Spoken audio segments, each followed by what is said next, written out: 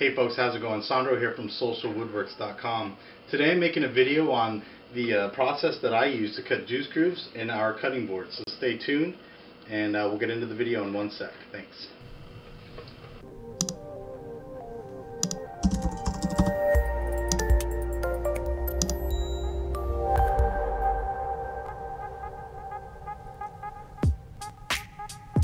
Alright, so the first thing I did here was uh, took my tape measure and I measured the distance between the edge of the blade and the edge of my router.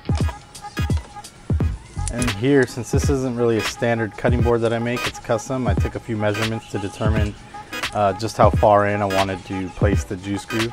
In my case, I wanted it one inch from the sides.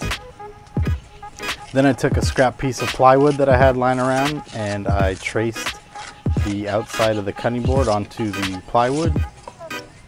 And since the measurement from the edge of my blade to the outside of my router was two and a half inches, and I want the juice groove one inch from the edge of the cutting board, I'm gonna use a one by two stock, which will give me the perfect dimensions uh, to form a frame around my cutting board.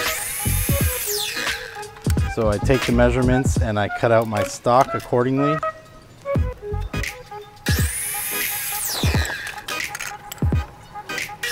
Last piece of one by two cut.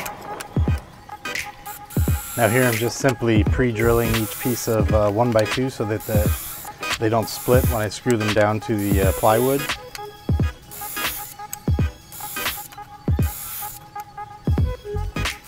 And go ahead and screw each piece down uh, as a frame around the cutting board. So now I'll have one and a half inch separation all the way around my cutting board.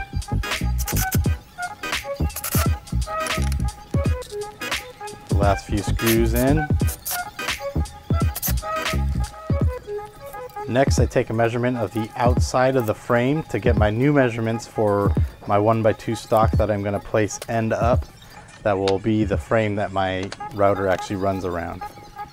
Same thing here, I pre-drill each, each piece of wood so that it doesn't split. And on these, I'm pre-drilling near the bottom edge because I'm going to screw these into the side of the frame that I already put up as you can see here.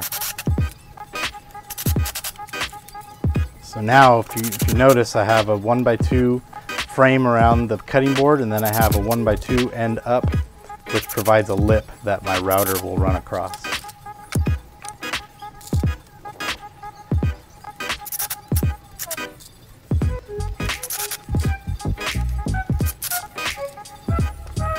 Last few screws in and we'll get out the router. So here I set my router depth to about 1 8 inch for the first pass and I'm going to do two passes total for about a quarter inch juice groove. You want to make sure you put your router in perfectly straight along that edge and you simply run your router around the framed edge that you just constructed.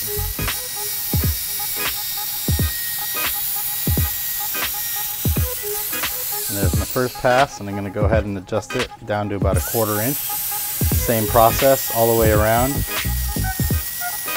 And as long as you keep your router steady and you have it flush along the edges of the frame you built, you really can't go wrong.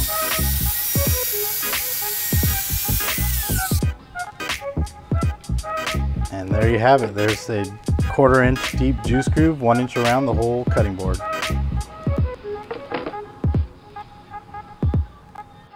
Thanks for watching guys. If you'd like to purchase a custom cutting board or any other woodworking project, please visit our website, socialwoodworks.com. I'll throw a link in the description below for you to click on. Uh, please remember to like this video if you enjoyed it, and please subscribe to our channel. Thanks a lot, and stay tuned for more woodworking videos.